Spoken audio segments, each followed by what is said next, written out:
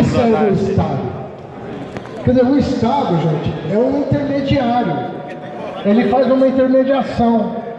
Ele faz, ele promove justiça. Ele deveria promover justiça. Porque se todos nós fôssemos deixados à própria sorte, eu não sei o que é ser da sociedade, eu não sei nem se a sociedade existiria. O Estado serve justamente para garantir as condições de que a gente viva com o mínimo de consideração e dignidade uns pelos outros. E se nós não formos capazes de atender aquele que mais precisa. Pô, legal, mas para você vir para Beatriz, você precisa ajudar a comunidade. O que, que você quer fazer aqui? Eu quero ser o cacique.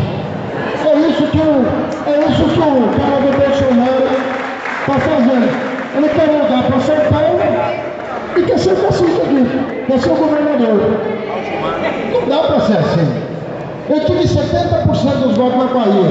Eu vou mudar para a Bahia para ser governador dos baianos? Tem um negócio desse? Quer dizer, você precisa ter vínculo com o lugar, você precisa conhecer a história do lugar. O Lula fez não sei quantas caravanas antes de virar presidente. Em cidade de 5 mil habitantes, 10 mil habitantes, 20 mil habitantes, 200 mil habitantes.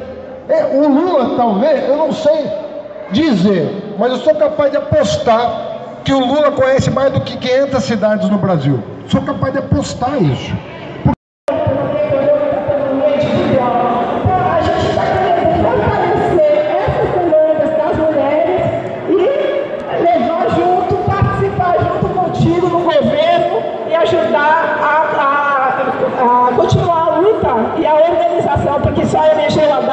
Queria assinalar a presença também aqui José Carlos, diretor da CUT do Vale do Paraíba.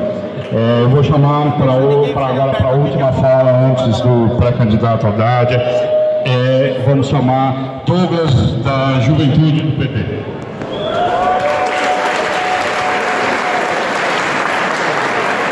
Bom dia, companheirada.